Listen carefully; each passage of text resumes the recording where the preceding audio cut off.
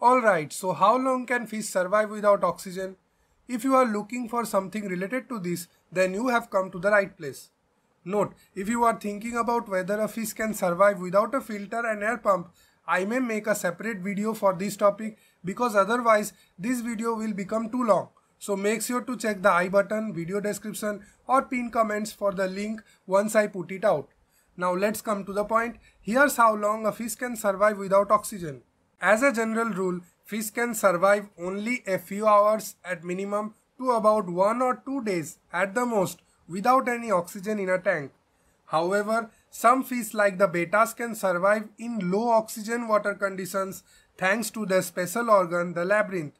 Here's a list of fish that can survive without any oxygen support in the tank.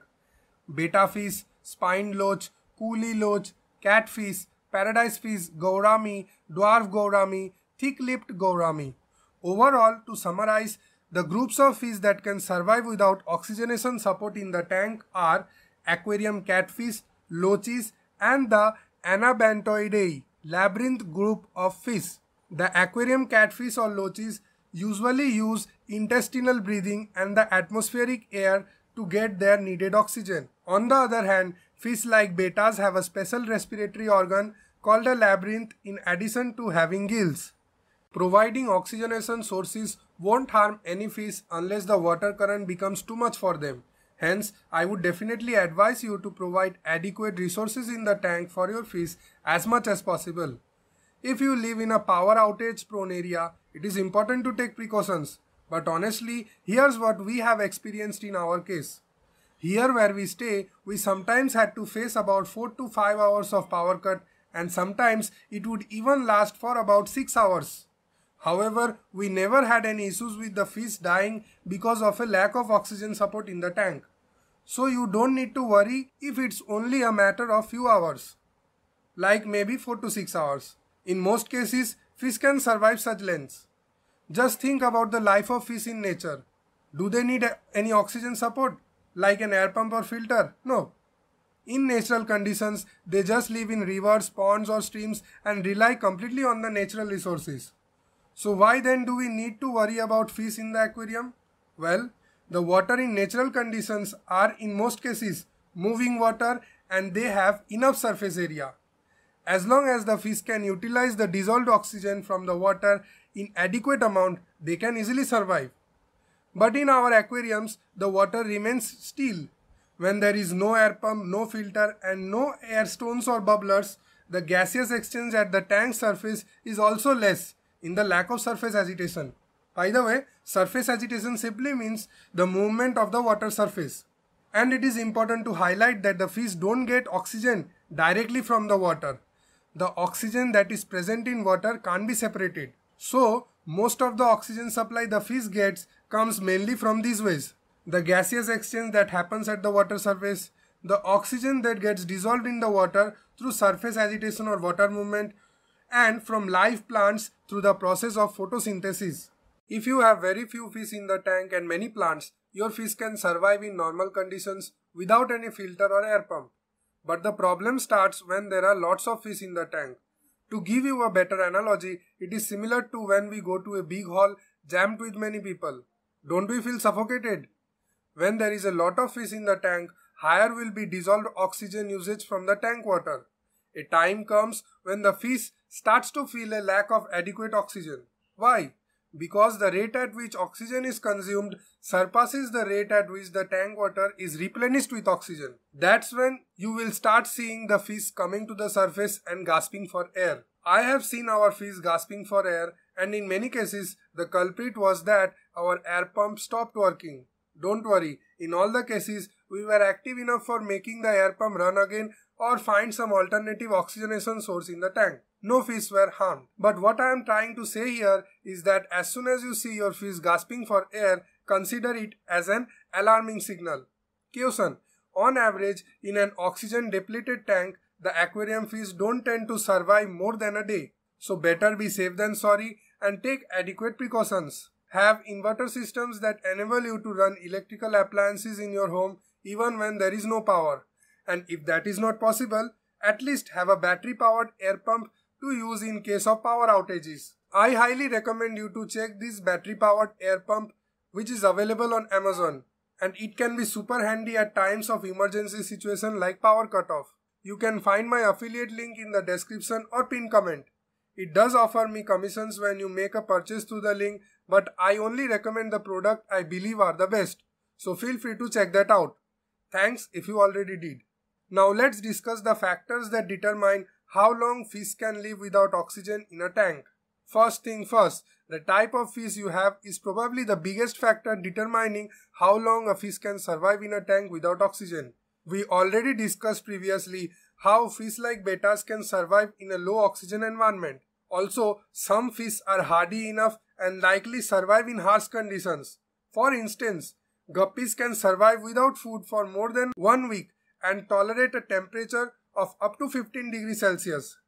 Guppies don't need much oxygen and can survive in small fish bowls as well.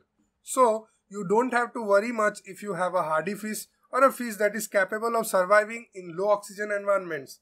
But rest, be sure to take adequate precautions. Temperature of the tank. The temperature of the water also plays a crucial role in how much oxygen it can hold. There is an inverse relationship between dissolved oxygen and temperature. So when the water temperature level increases, the dissolved oxygen level decreases. Hence, it is a fact that cold water can hold more dissolved oxygen compared to warm water. Lighting in the tank.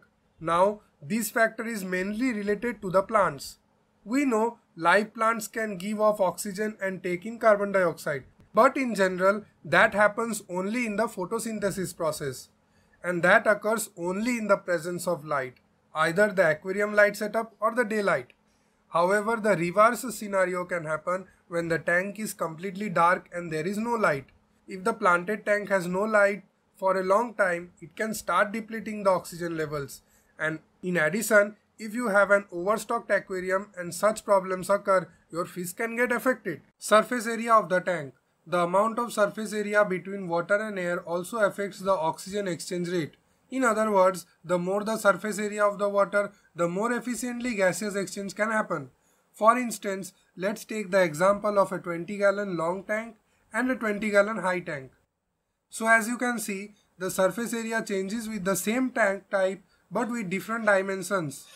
And from the above example, we can understand that a 20 gallon long tank has more surface area and thus more portals from oxygen can dissolve in the tank water.